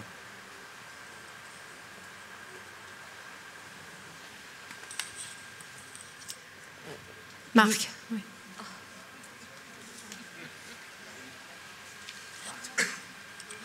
Moi, c'était pour revenir à un problème. Université de Corse, euh, je participe à la formation des doctorants. Et euh, on a euh, mobilisé une action justement sur la science ouverte et avec l'école doctorale. Et le problème qui est abordé et qui est une préoccupation, qui est une préoccupation de nos jeunes doctorants, c'est la qualification. Et, et il est très, on sent d'énormes réticences selon les sélections qu'on soit en sciences fondamentales ou en sciences humaines et sociales, où on voit qu'il y a une grosse différence, on l'a vu d'ailleurs sur la représentation du pourcentage des publications. Et euh, il, y a cette, euh, il y a cet a priori, non seulement des doctorants, mais aussi des enseignants-chercheurs, que euh, publier en sciences ouvertes va disqualifier certains candidats selon les sections du CNU. Et je voulais savoir s'il n'y aurait pas un travail à faire auprès des présidents et des membres des commissions du CNU sur ce problème de la science ouverte, parce que euh, on n'est pas qualifié parce qu'on n'aura pas été publié euh, dans une revue ACL, qui est bien sûr un éditeur économique, etc. Oui, c'est un peu ce que je pointais, c'est une excellente remarque, ce que je pointais en disant on est finalement évalué par nos pairs, donc on, on alors avec ma casquette d'enseignant-chercheur, c'est nous qui fixons les règles du jeu et, du coup, euh, bah, il faut prendre ça en compte avec des communautés qui ne sont pas du tout euh, Je pense que c'est, il faut le, dire tel que c'est, à, passer le, pas hein, pour certaines, pour certaines d'entre elles. Euh, là, il va falloir des, des, injonctions, hein, il va falloir forcer, forcer la porte parce que sinon on n'y arrivera pas. Ça, c'est mon point de vue là-dessus. Je pense qu'il faut qu'il y ait des critères qui soient fixés et que quand on remplit les fiches, il, ben, faudra bien mettre quelque chose dans ce paragraphe-là. Et donc, au fur et à mesure, ça va, ça, va finir par se, produire et les, choses vont, évoluer. J'ai une remarque, j'avais pas rebondi tout à l'heure là-dessus sur les aspects euh, doctorants. Oui, évidemment, c'est un vecteur. Il faut évidemment former les doctorants, etc. Ma crainte, ça c'est pas, c'est pas que j'ai une vision. Euh, malveillante hein, envers mes, chers collègues, mais ma crainte, c'est que on, fasse des doctorants les seuls acteurs de, la science ouverte et qu'en gros, euh, personne n'ayant le temps, euh, on, demande aux doctorants de, de faire le boulot. Il faut, faut qu'on se prémunisse de ça quand même, parce que notre rôle dans la formation des doctorants, c'est évidemment qu'ils qui s'élèvent vers euh, leurs aspects scientifiques et vers la culture de la science ouverte, mais que après tout l'écosystème se mette en route autour de ça. Hein. Donc c'est, oui, il faut le faire. C'est un, jeu qui peut être dangereux sur euh, certaines choses.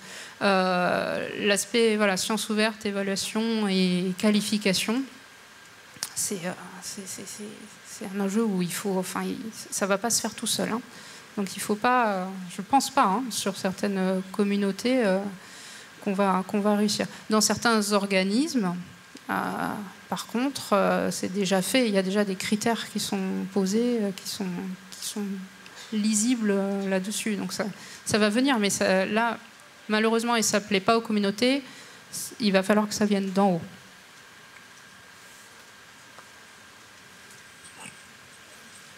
Bonjour, Marc Martinez, euh, Bibliothèque universitaire Jean Moulin Lyon 3 dans le civil.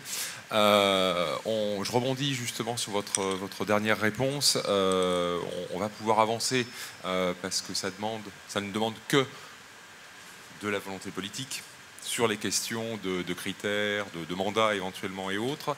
je m'interroge cependant sur le, le, fait que si on veut vraiment changer d'échelle euh, vous soulignez que tout le monde manque de, temps, qu'on n'a pas le temps, qu'il faut travailler plus ensemble, mais ça réclame des moyens humains. Est-ce que, euh, alors on, salue évidemment hein, euh, les, annonces et l'alimentation en crédit du FNSO, est-ce que un dispositif de renforcement des moyens qui repose principalement sur des appels à projets et des financements non pérennes sera suffisant pour changer d'échelle vraiment c'est des gros mots, pardon. Ah, je ne peux, pas dire qu'on n'appelle pas de nos voeux euh, des choses euh, plus pérennes et des financements euh, qui, soient, qui soient dans les, dans les établissements de manière plus forte. après, moi, je suis quelqu'un de très pragmatique et très réaliste, donc il faut bah, qu'on fasse avec ce qui nous est offert, tout en continuant à dire que si on nous offrait plus, on veut bien prendre. Euh, pour faire des choses, hein, pas juste pour prendre. Euh, pour moi, ces appels à projets, ils sont importants, même s'ils sont non pérennes, pour euh, forcer la transformation.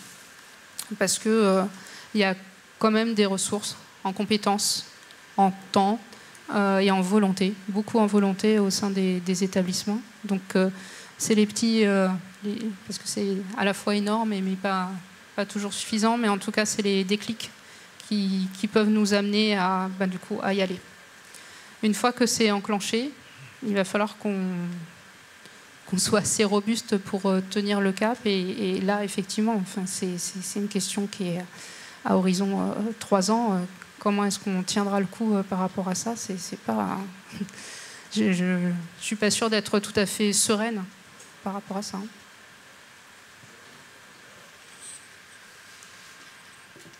D'autres questions dans la salle? N'hésitez pas.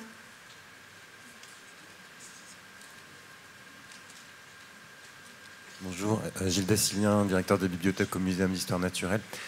J'ai peur de rebondir un peu sur des questions euh, et des réponses qui ont déjà été données, mais c'est pour enfoncer le clou en fait.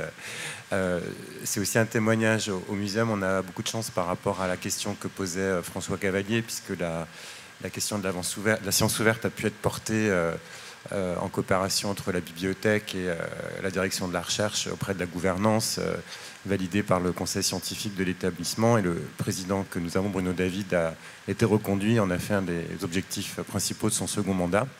Donc on n'a pas de difficulté du point de vue volontariste, on est en fait presque plutôt à gérer les conséquences de cette bonne nouvelle, c'est que l'objectif qui nous a été fixé par le président, c'est fin 2020, 100% des dépôts des chercheurs du muséum dans elle. Et évidemment, la recherche applaudit, mais n'est pas du tout équipée, donc on se tourne vers la bibliothèque à porter le sujet. Et donc on est effectivement dans ce que, en réponse à la question de Marc Martinez qui vient d'être décrit, mais très concrètement, là je voudrais être extrêmement concret, c'est-à-dire que euh, nos emplois, on est strictement dans du redéploiement, donc euh, les emplois de catégorie B et les emplois de catégorie A en particulier, on redéploie leurs activités, euh, moins de catalogage, moins d'acquisition, on forme les gens à faire du dépôt dans Halle, à former, on commence à les former à la bibliobétrie sans trop savoir ce que c'est, parce qu'il faut y aller. D'un point de vue budgétaire, c'est la même chose, réduction euh, de 100 000 euros des acquisitions, parce qu'on est aussi dans une logique d'open accès, on redéploie ces moyens euh, vers un travail sur les services. Donc ma question est un peu bête, mais à force de redéploiement pour faire ces nouvelles missions, qui sont vraiment une transformation des métiers, à un moment donné, on arrive un petit peu à l'os. Et quand je vois tout l'argent qui arrive dans le fonds pour la science ouverte, est-ce qu'à un moment donné, au-delà des logiques de projet euh, ou de développement, euh, qui sont des développements plutôt techniques, euh, on pourrait s'intéresser de plus près à la fois à la qualité, en termes de rémunération, en termes de recrutement et en termes de qualification, mais aussi à la quantité des effectifs qui sont affectés aux établissements documentaires pour réaliser cette transformation?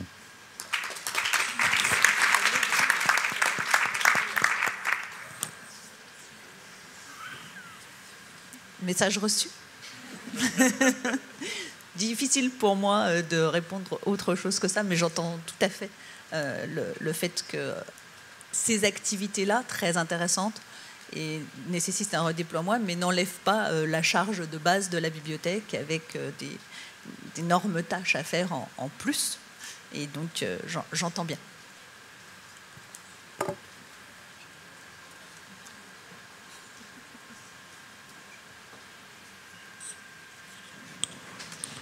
D'autres revendications peut-être? Profitez-en, c'est le moment.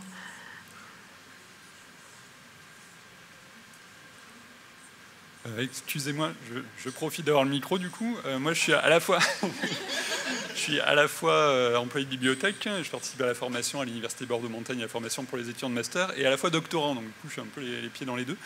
Et euh, je me posais une question toute bête, mais euh, pourquoi euh, il y a quelque chose qui existe s'appelle les presses universitaires. Pourquoi c'est leur métier d'être éditeur, a priori, et éditeur c'est un vrai métier. Là, on demande à la fois des enseignants-chercheurs de faire un métier d'éditeur qu'ils ne savent pas faire, et à la fois des bibliothécaires de faire un métier d'éditeur pour lequel ils ne sont pas spécialement formés non plus. Pourquoi ce n'est pas les presses universitaires qui font cette transition, puisqu'a priori c'est leur métier d'être éditeur du coup, là, moi, je ne pense pas du tout que les bibliothécaires doivent devenir éditeurs, pas plus qu'informaticiens. Hein. Alors, euh, ce n'est pas du tout leur métier. Par contre, que dans euh, beaucoup d'endroits autour de bibliothèques se créent euh, des projets pour transformer le système éditorial, pour aider les presses universitaires à bouger aussi, parce que je suis d'accord hein, sur le fait que le rôle des presses universitaires dans l'édition scientifique publique est très important, que la situation est variables selon les régions et qu'elles ont un vrai rôle à jouer et que pour moi c'est en effet un acteur important et un outil important. Mais du coup, euh, euh, le, rôle des bibliothèques là-dedans, dans l'édition scientifique, c'est d'accompagner les bonnes pratiques, les changements, les modifications avec les éditeurs, mais pas devenir éditeur. Quand je dis éditeur, je dis professionnel de l'édition, hein, euh, du coup. Euh, et, ce qui se passe, par exemple, à Bordeaux avec euh, la pépinière de revues, il y en a une aussi à Lyon, il y en a d'autres projets à Lille qui sont intéressants, c'est-à-dire de voir les revues qui existent, essayer de les regrouper, essayer de les faire mieux travailler, essayer de mieux les diffuser, etc. C'est très très important de, de les rendre plus visibles, qu'elles soient mieux référencées, encore une fois, avec nos qualités et nos métiers c'est très important qu'on soit impliqué dans l'édition scientifique, mais pas devenir éditeur euh, euh, scientifique, parce qu'en effet, pas, pour moi, c'est deux choses euh, très différentes. Mais on a un rôle à jouer dans l'amélioration et l'évolution de l'édition scientifique aujourd'hui. Et les presses universitaires aussi ont leur rôle à prendre. Et il se passe aussi des très belles choses avec les presses universitaires euh, à Strasbourg, euh, dans le sud aussi, à Marseille, etc. voilà, il y, a aussi des très belles évolutions là-dedans. Et il y a une marge de progression.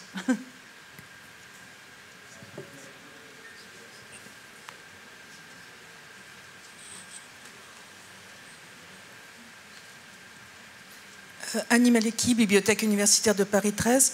Moi, je voudrais avoir des éclaircissements sur la licence Elsevier et l'alimentation du fonds pour la science ouverte. Euh, alors, euh, une, partie de l'alimentation du fonds euh, de, la science ouverte vient des économies faites sur la licence Elsevier, puisque sur les 3 millions 100, il y a 2 millions qui viennent directement des budgets ministériels, il y a 1 million qui vient des économies faites à partir d'Elsevier, et puis, il y a aujourd'hui 100 euh, 000 euros qui vient directement de l'INRIA, qui a décidé que les économies faites sur ce, cette licence Elsevier, elle serait reversée dans le Fonds national de la science ouverte. Et aux dernières nouvelles, je crois que l'IFREMER a fait euh, le même choix. C'est-à-dire de dire que euh, les économies de fait à partir de, cette économie sur Elsevier seraient reversées au Fonds national de la science ouverte. Donc clairement, euh, il y a une partie du fonds qui vient de la négociation de cette licence.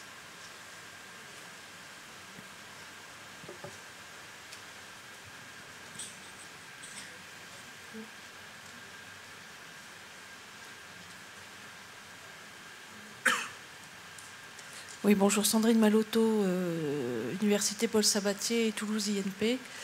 Euh, juste pour, compléter, euh, la question d'Annie, c'était quelle, part des économies, puisqu'on a reçu un courrier qui nous explique que pour l'année 2019, ça sera 50% d'économies, mais on n'a pas la suite et j'en profite pour le, pour le dire, j'en m'en suis entretenu avec un certain nombre de, collègues.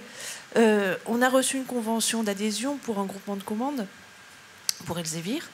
Euh, on en avait reçu une aussi il y a cinq ans hein, pour, la même, pour la même opération. La différence, c'est que cette année, on n'a pas de montant. Donc les établissements sont appelés à, adhérer à un groupement de commandes. Ils n'ont aucune idée du montant. Donc autant il y a cinq ans, nous avions une convention avec un montant clairement indiqué par établissement sur les cinq ans, donc on savait vraiment à quoi on s'engageait. Là, il est très difficile d'aller s'expliquer avec les divisions des affaires juridiques, les divisions des affaires financières et les présidents, avec une convention qui est très complète, avec un courrier du ministère, mais qui nous demande de nous engager sans montant. Alors ça dérive un petit peu je ne pensais pas parler de ça par rapport au sujet, mais c'est vrai que je, rebondis juste par rapport à votre réponse à la question de Dani. Merci. J'ai répondu sur ce que je connaissais et sur ce à quoi je pouvais répondre. Parce que sur le reste de la négociation Elsevier, je n'ai pas suffisamment d'informations pour vous répondre aujourd'hui. Euh, je suis arrivée au mois de juin. la négociation Elsevier était euh, quasiment faite donc, euh, je suis désolée, mais je n'ai pas de réponse à vous donner là-dessus. Je ne connais pas suffisamment le, le fonctionnement.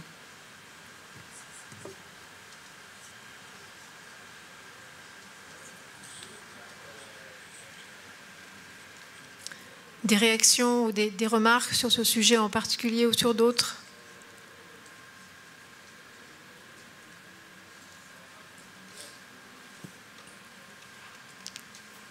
Grégory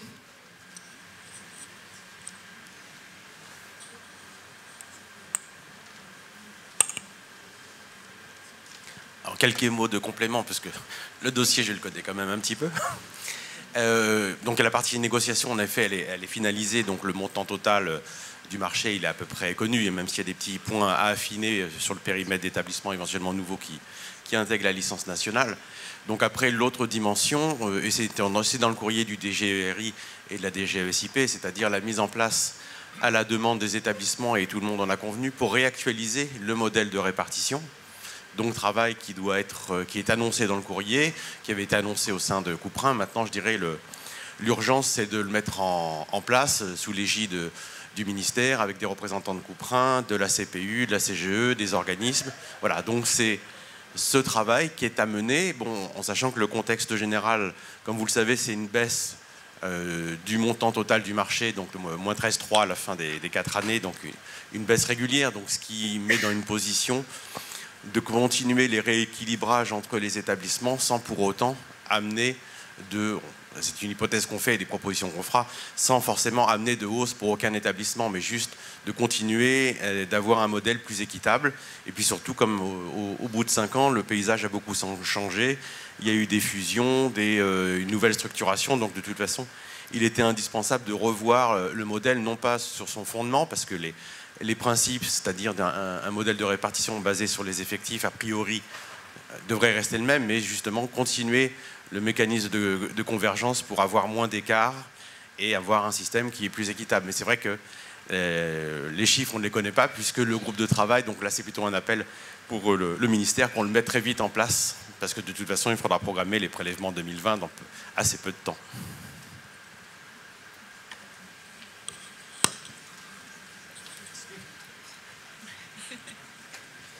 Cher Grégory, merci de ta réponse. Donc, je pense qu'on doit comprendre qu'il faut qu'on vous fasse confiance.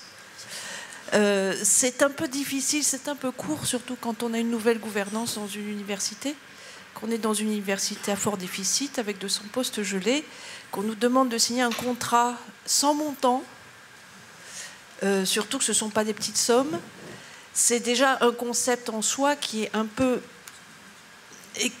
acrobatique à expliquer à des juristes, encore plus à des présidences d'université. Euh, je, je, parle pour mon université, je ne sais pas si des collègues sont dans la même situation, mais moi je suis un petit peu à court d'arguments.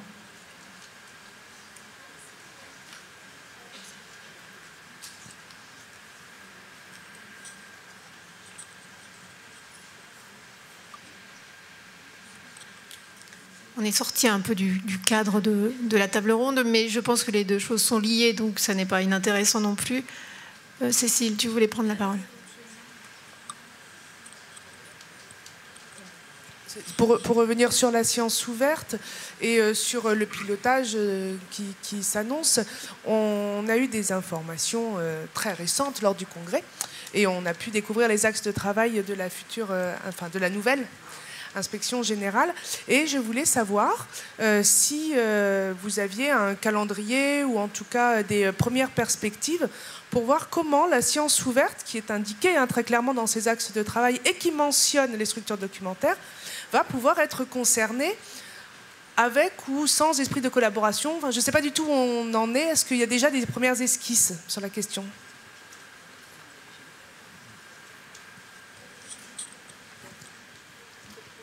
Est-ce qu'il y a quelqu'un de l'IGB dans la salle qui veut répondre? Je, mets à contribution mes collègues. Je pense que c'est mieux d'aller directement à la source. Bonjour, donc Carole Trouille de l'Inspection générale des bibliothèques et bientôt de l'IGSR, effectivement.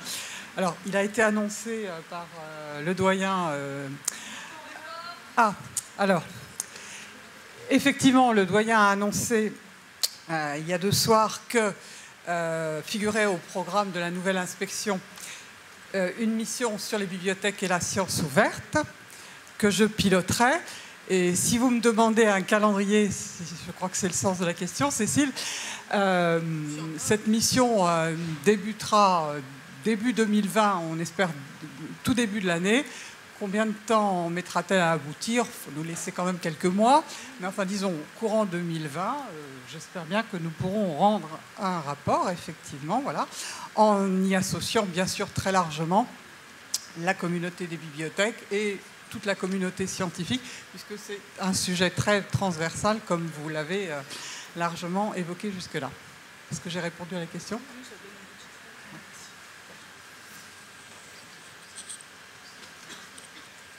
Bien. On poursuit euh, peut-être euh, véritablement sur le sujet qui, nous occupait. Euh, j'essaye de faire défiler les diapos suivantes, mais ça ne fonctionne pas. Mais peut-être que je... Voilà. je suis revenue au début. Simplement, c'était pour juste faire un petit tour d'horizon de l'actualité de, la, science ouverte. Il y a plusieurs manifestations là dans un avenir très proche hein, qui s'annoncent.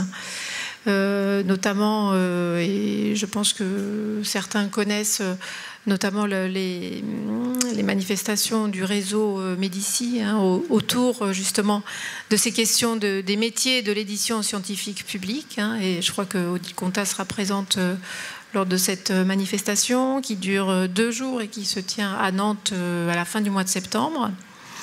Évidemment que... La semaine prochaine, euh, mardi, mercredi et jeudi. Voilà. voilà. Évidemment que euh, au mois d'octobre, euh, de manière assez rituelle, maintenant se tiendra la semaine de, l'Open Access 2019. Hein, donc ça fait partie des moments de mobilisation de nos services notamment et de d'autres services de l'université sur ces questions de la science ouverte.